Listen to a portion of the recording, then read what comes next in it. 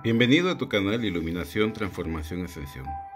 El día de hoy, antes de iniciar con la serie de los 120 enseñanzas más importantes de Jesús, temas que vamos a estar trabajando por un buen tiempo y vamos a también estar alternando con otros videos o vídeos que van a ser de mucho interés porque son de bastante fortalecimiento espiritual.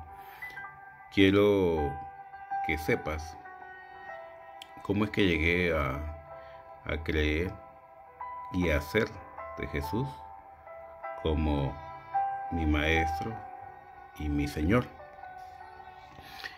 Pues te comento que como muchos, yo empecé eh, en, una vida religiosa, eh, en donde se me enseñaba que Jesús era como mi hermano eh, mayor pero realmente nada, así nada como formal, ningún estudio de, ello.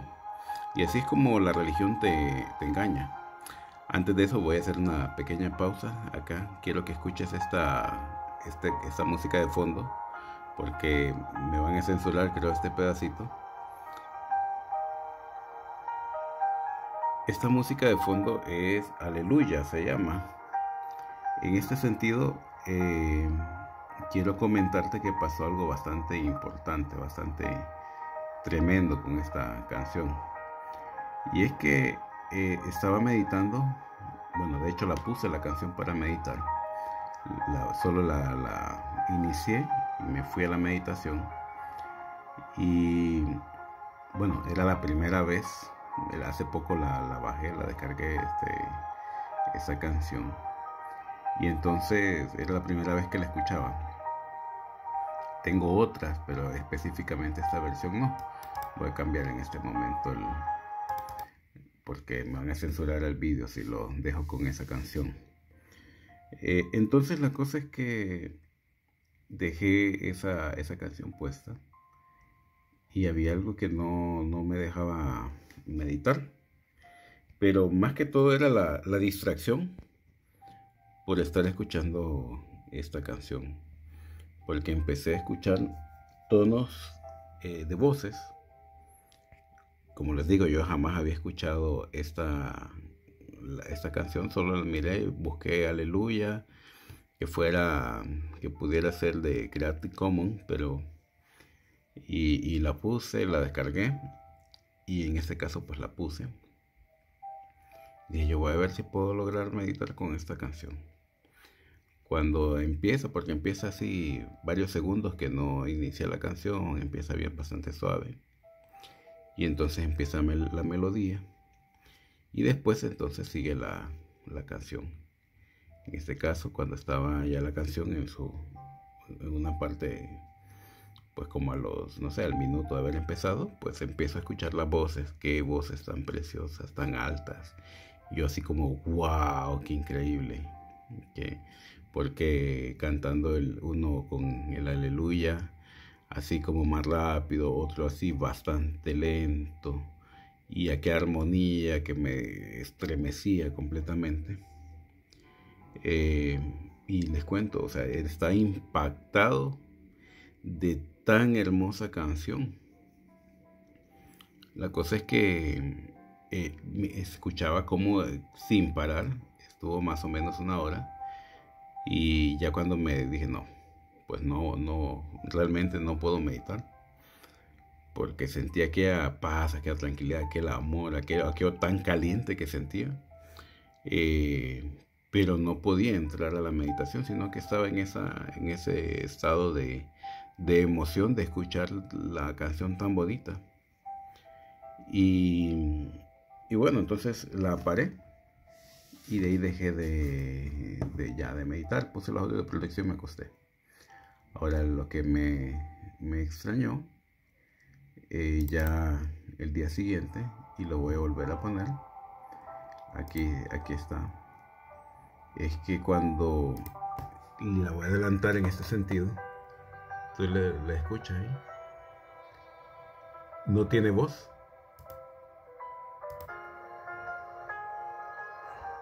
La canción no tiene voz.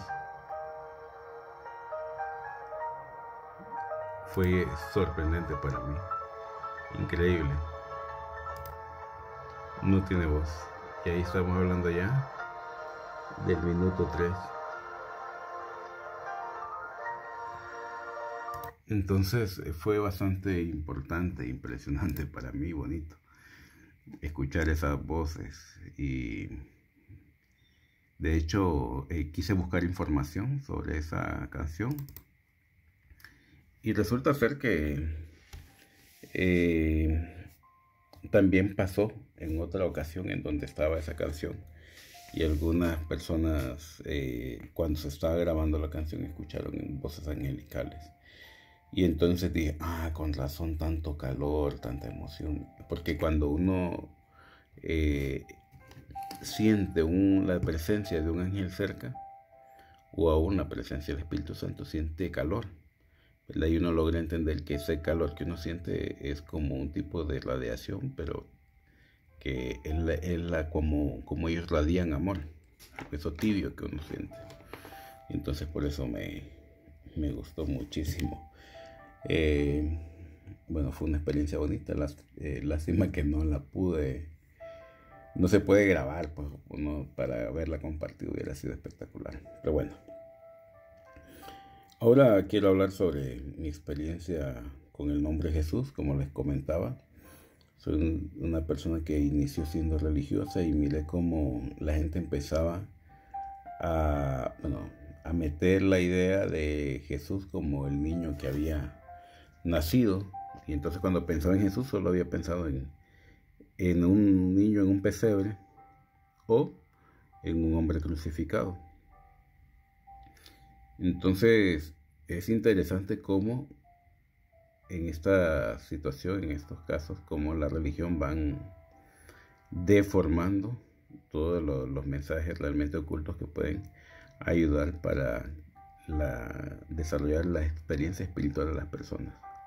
O sea, la manera de, de realmente hacer que las personas eh, sigan y con un mensaje de esperanza, de salvación, de, amor, logran someter a la gente. Pero a la hora de realmente investigar quién es esta persona, la espiritualidad eh, va realmente en contra o en dirección contraria a lo que es la religión. En este sentido, al estudiar a quién es Jesús, también él combatió mucho los religiosos de su época. Entonces, eh, ya había tenido una experiencia, ya había tenido la experiencia con Jesús, que mostré mi primera experiencia con Jesús, que realmente fue la única experiencia con Él como persona física, digamos. Pero esta experiencia que tuve fue bastante interesante y bastante intensa. Eh, pues yo ya había venido de ser misionero, ya había pasado un tiempo, había pasado, vamos a ver, como nos... Eh, fui misionero en el 99. De ahí también estuve estudiando el 2000, 2001, 2002, 2000. Estuve 2003, estuve desarrollando varios negocios. Tuve algunas empresas, de ahí en el 2002, a final del 2002, 2003, eh, puse una empresa. Eh, que fue realmente muy, muy... Estamos empezando realmente. Empezamos a final del 2002, 2003 y estábamos, tenemos una, una nave de, de, construcción, o sea, es una, es, aquí lo, lo, por eso lo dibujé, más o menos aquí solo con, como para que tengas una idea, ¿verdad? Son dos pisos, ¿verdad? Es una, le llaman como nave industrial o fábrica, o local para trabajar, no sé cómo le llamen ustedes, es una área de confección. Es una, solo tiene eh, las cuatro paredes. Bueno, aquí tiene unas gradas para llegar a la bodega, aquí era el garaje. Y acá eh, tiene una parte, más o menos unos 8 o 10 metros, donde se parqueaban los vehículos y de ahí seguía un precipicio. La primera etapa, con una pendiente más o menos de altura 20 metros, y la siguiente etapa, o sea, un precipicio de 300 a 500 metros. Luego de esto, hay una un semivalle, semi porque tiene ciertos ciertas como eh, mesetías, mesetas pequeñas, algunos cerritos, pero no es completamente plano. ¿Por qué es importante esto? Porque cuando tuve esta experiencia, eh, venimos empezando el negocio prácticamente, me parece, me parece, si no me equivoco, estaba recién casado. Y entonces ya había habido un viento por, por este precipicio, como aquí venía, todo el aire pegaba con bastante fuerza cuando las veces que había, había aire. Eran raras realmente, ¿verdad? Pero sí, en algún momento pues habíamos sentido eh, algún aire. Todo esto es, son peñas, estamos sobre peñas, sobre rocas gigantescas. Es como una meseta gigantesca que se extiende por varios cientos de kilómetros, pero nosotros estamos en la, en la entrada, ¿verdad? Y de aquí para allá es, valle y, era, y eran Vegas, para este lado, para acá. ¿verdad? Entonces eh, me llamó muchísimo la atención eh, que venía una tormenta, pero se miraba como con vientos huracanados, como tipo tornado. Y que cuando empezó a pegar, eh, cuando empieza a azotar, toda la gente que está aquí se empezó a sentir que estaba temblando absolutamente todo. Esta es la parte del techo. O sea, si vamos a esta altura, más esta altura, más esta altura, más esta altura, más esta altura, es, y es increíblemente alto esta zona. ¿verdad? Entonces, cuando empezó a, caer el, aire, ¿verdad? Entonces se empezó a levantar el techo. Las bases de acá empezaron a levantarse. Entonces, eh, toda la gente que estaba aquí, por aquí estaba la salida, corrió y se salió, así, por acá. Corrió, esta es vista desde arriba, era un solo, no tenía paredes en medio, ¿verdad? Eh, sino que toda la gente salió por, ahí, por esta puerta y yo entré.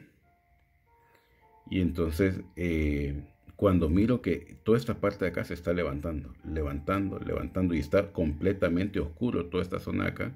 Acá hay unas ventanas y aquí este lado también había unas ventanas. Y está pero completamente ennegrecido, oscuro, oscuro y azotando con un viento que daba terror.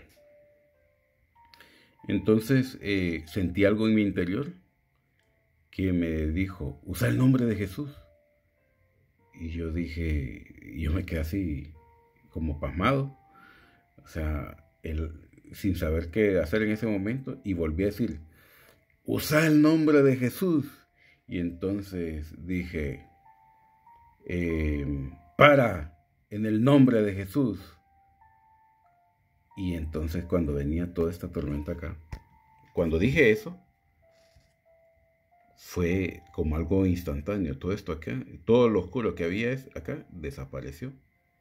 Todo, absolutamente todo. Y estamos hablando que para este lado acá hay un valle, no sé, de miles y miles y miles de hectáreas o, manzanas. todo, de hecho, toda esta parte de acá, eh, más para para allá es una ciudad completa, entonces imagínense cuánto eh, espacio hay. Y la cosa es que todo esto de acá, habían pero tormentas, o sea, parecía que realmente, como es un cañón, pensábamos que era que se había estado como un tornado y que nos iba a impactar directamente a nosotros y nos iba a destruir este techo. Y cuando dije, para, en el nombre de Jesús, entonces oh, perdón, no dije para, dije ya basta en el nombre de Jesús. Entonces eh, se disipó y se empezó a ver una luz que de hecho no había, que era la luz del sol, y ya no había viento, una tranquilidad, una paz.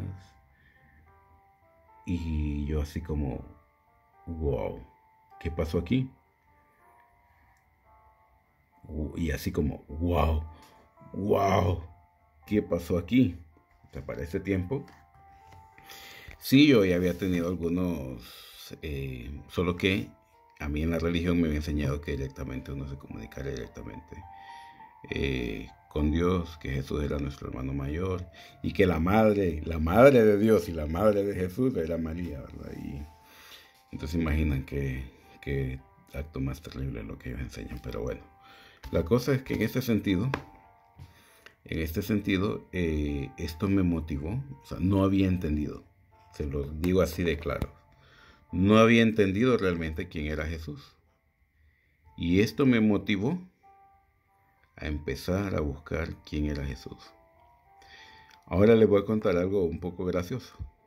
El siguiente año volvió a pasar lo mismo, con la diferencia que venía con rayos y truenos, y yo no estaba ahí, y se destruyó todo el techo. Nos llevó todo el techo. Entonces, oh, o sea, eso era lo que debieron de haber hecho las personas que, que, habían quedado ahí. Lo mismo, todos se fueron, huyeron de ese lugar, ¿verdad? Eh, de hecho, para, esto es la parte de arriba, para acá está una salida y que está al aire libre, entonces corrieron para acá. Pero cuando estaban aquí miraban como, eh, como especies de rayos estaban impactando en toda esta zona de acá. ¿Verdad? Como, como lo, raro es que decían que eran eh, rayos horizontales. O sea, como que las nubes habían descendido y, se habían, porque estaba absolutamente todo enneblinado, y entonces se fueron para otro lado a un refugio. Y, y, esa, pues en esta segunda ocasión sí se llevó todo este techo y también coincidencialmente también se llevó el techo de mi casa. Pero para haber sabido que iba a pasar eso, hubiera estado ahí, ¿verdad? Entonces, la cosa es que cuando experimenté esto, yo dije, pero ¿cómo, de dónde viene esta voz interior que me dijo que utilizar el nombre de Jesús? Por un lado. Por otro, eso significa que el nombre de Jesús tiene poder. Y entonces ahí fue donde empecé a investigar. ¿verdad? Porque unos decían Jesús, otro Yeshua, otro Yeshua Hamachia, otro Jesus o Jesus Christ, otro eh, Jesucristo. Y eso me llevó realmente no solamente a investigar sobre el tema de, los nombres de Jesús, sino a realmente estudiar escatológicamente, teológicamente, doctrinalmente, profundizar en todo lo que es el tema eh, de Jesús.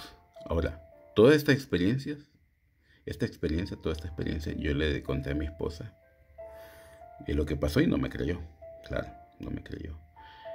Eh, porque para ella era algo impactante y fantástico, fantástico de fantasía. Eso que había pasado. Y entonces, después de eso, tuve mi segunda experiencia con Jesús. Años después, con mi esposa, ya con mi primer hijo. Estaba como bebé. Y eso es lo que voy a contar en el próximo video. Me alegra mucho, mucho saludarte. Te envío un abrazo a la distancia y deseo con todo corazón que el Dios Altísimo te bendiga y que empieces tú esa relación personal con el Dios Altísimo, que será la que te transforme y te lleve por el sendero de la felicidad. Saludos.